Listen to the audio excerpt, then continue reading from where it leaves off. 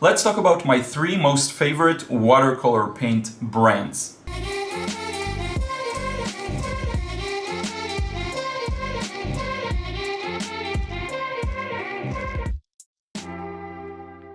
What up friends, Liron here. Thank you for joining me in another video. In this one I want to share with you my top 3, my most favorite watercolor paint brands. Okay, now I'm gonna give a few disclaimers before we get going. First one, I didn't try all of the brands out there.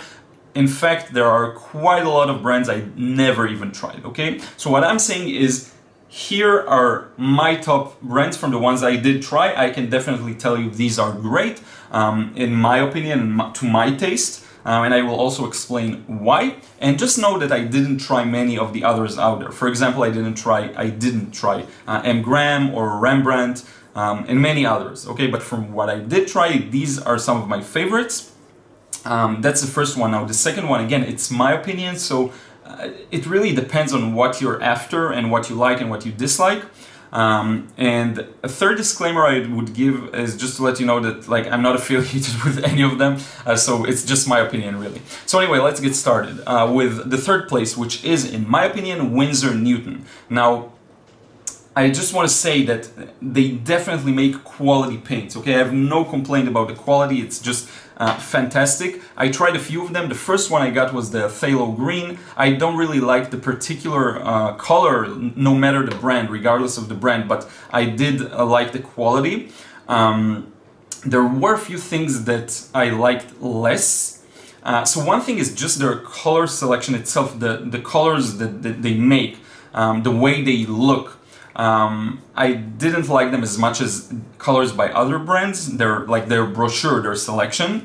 Uh, definitely, again, definitely high quality, but I just didn't like the, the colors themselves. And again, it's my opinion. Um, another thing that was a bit hard for me is, was to blend them. For some reason, if I would uh, create a wash and I want to blend the edges, I just found it um, many times a bit hard to create an even transition. I'm not exactly sure why that was, and it could be uh, definitely related to the uh, specific colors I was using.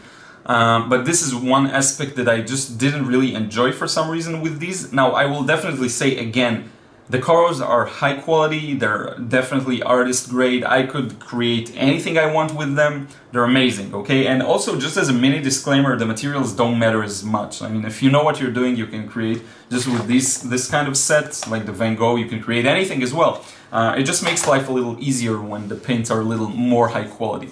But anyway, this is what places them on my third spot.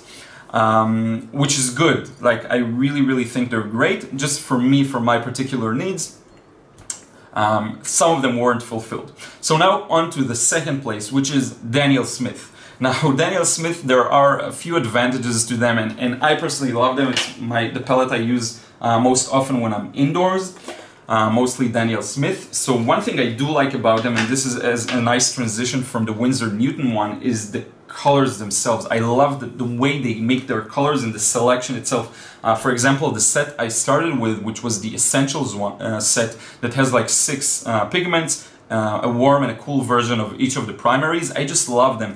The, the quinacridone rose and the, the pyrrole scarlet and all of the, the, just they worked really well for me and I found that I can mix a huge variety of colors with them. So this is one aspect I really enjoyed. Second is they just look fantastic um, very vibrant, very strong, um, just really, really good paint. I, I love the way they look.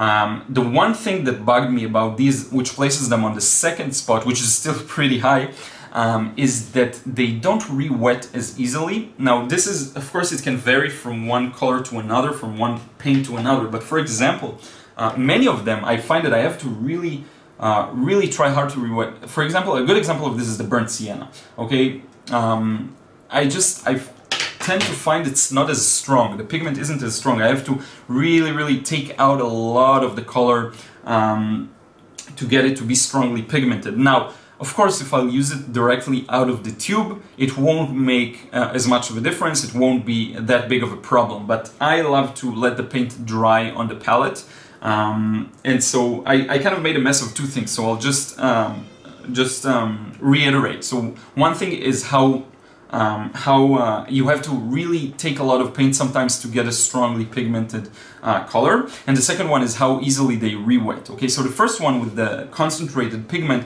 of course, if you use them out of the tube, it will be a little different. But as I mentioned just now, um, I personally love to let them dry on the palette, and I know a lot of people do that. And when they dry on the palette, uh, it's just hard to produce a really strong pigment, okay? And of course it can vary from one to another. For example, the phthalo blue can really produce a strong, strong um, pigment, strong color. Uh, but most of the other ones, not so much for me. Now, second again is how they don't re-wet that easily. Um, so these two issues could be uh, related to one another. Uh, it could be an advantage if you want your paint to be really organized on a palette that you take on the go, but me, I prefer paints that are really softer um, and re-wet easily. Okay, so this is why uh, these are on the second spot, which is still pretty good. These are the ones I will rely on when I don't use my first spot, which is Schmincke. Okay, so um, I have to say I just really appreciate the brand itself um, because they sent me quite a lot of paints and we just had a, a good um, a good conversation and interaction via email. However, I'm gonna base this solely on the quality of the paint, okay? This is why I didn't mention this as a disclaimer because it has nothing to do with that. Schmincke, first off, all of the vibrancy and the, the strong pigment that Daniel Smith has, they definitely have. So they don't lack in any way in that sense. But also they re-wet really easily and they are just so soft. Uh, even when they dry on the palette, you just put, sorry, I moved the tripod a bit. You just put a bit of uh, a bit of paint, a bit of water on them, sorry, and they just re-wet really, really easily, which I love, okay? I honestly couldn't find many disadvantage, um, many like yeah disadvantages to Schmincke, uh, except for one thing, and I will mention this. Um, if you plan on filling your palette a lot and taking it with you on the go, some of the paints can take a long time to dry uh, and some of them like really a long time. For example, I put the Turner's yellow in the palette and I let it like, uh, I allowed it maybe two or three days to dry and it still hasn't dried. And when I opened the palette, all of the yellow was smeared on top of it and it really made a big mess with, um, with the, how it closes and opens. It just hit one of those uh, little screws that, that allows it to open and close. So if you're constantly refilling it and, and you want the paint to be dry, like really dry, this may be an issue for you. I personally love it and I just find that I can place it uh, upright like this and not not flip it accidentally and then it will be good okay? So for me this is definitely the first spot. Uh, these are my first choice for now. These are the ones I paint with the most for now. But I will definitely say that the Daniel Smith um, and the, the Winsor Newton ones are fantastic as well. For example, one that didn't make the cut to this list is the Sennelier, and I know a lot of people disagree with me on that one, which is perfectly fine. I found two things that really bugged me with the Sennelier. First one is the whole glazing thing. Um, I like to get as much of what I can create, like as much information on the first wash. And with the Sennelier, yeah, they get much more vibrant and the more you glaze and layer, I'm not the type of person that likes too much of glazing, okay? Uh, I prefer to get things done in, in like two or three washes and, and that's it.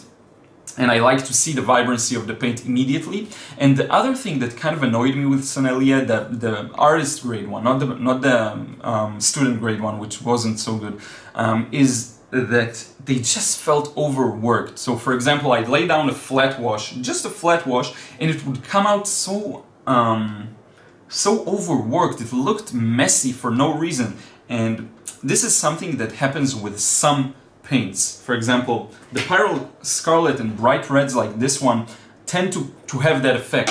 But with Sennelier, I found this one happens with multiple pigments. So for this reason, it doesn't make my top three. Again, a matter of choice. I know a lot of people love them and swear by them, so um, definitely just my opinion. You're entitled to yours and your experience and whatever you like the most. But anyway, now I want to set aside everything we've talked about and really put all of this video in context. Uh, because I think that the brand doesn't matter. The quality, even the quality doesn't matter as much, okay? It's, it's important, but it's totally secondary to your hard work and practice and skills. Okay, so if you have good skills, if you can perceive what you're looking at really well, and if you're good at drawing, and if you're good at value matching, and if you're just good at color selection and composition, all of these things does do not matter. You can produce amazing results using this Van Gogh, which is relatively cheap, you can produce good results with uh, my Artscape ones that I gave a pretty bad review uh, for. You can just succeed with any kind of color you want. Granted, it will be easier with the better brands, but still, it's so secondary. So if you get any of these three, or even the Sennelier, or even the Cotmans, you'll do good as long as you put in the hard work, the effort, and the daily practice. Okay, so I just want to put all of this video into context because it really doesn't matter as much, okay? But if you are already at a point where you start to feel comfortable and you do want to upgrade, these are my top three choices. Um, I hope you will consider them. Um, and that's it. Let me know about your top maybe one brand or a few brands that you like to use the most. I'm really curious to hear because um, there are many that I haven't tried yet. Okay, so I'm just really curious to see what other people find out there. And again, my opinion, I'm really curious to hear yours, so leave a comment below. Don't forget to subscribe here on YouTube if you still haven't. Um, also follow me on Instagram and Snapchat where I share more daily updates. When I just get new paints, I like to share what they look like, the swatches, some more personal stuff. Um, and this is it. I hope you enjoyed this video and I will see you again in the next one.